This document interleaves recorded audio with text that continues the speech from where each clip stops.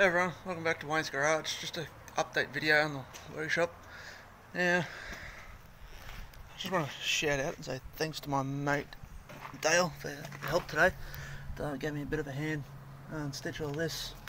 Uh, he's going to do some more again soon, so eventually we'll be hopefully looking into making that panel there and that and this top one somehow, or even just repair sections um, the top one um, and that we have a look at uh, making the corners up here as well on both sides and some other stuff so yeah.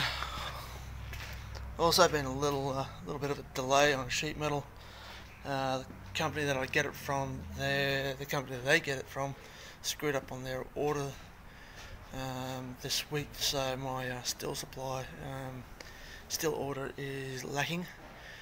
Um, so I've got to wait another two more days, Monday or Tuesday next week.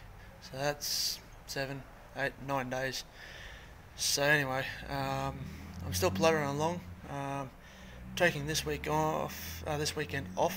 I'm going to go and see my mate and um, catch up with him and his better half and that. So, so yeah. So anyway, thanks for tuning in.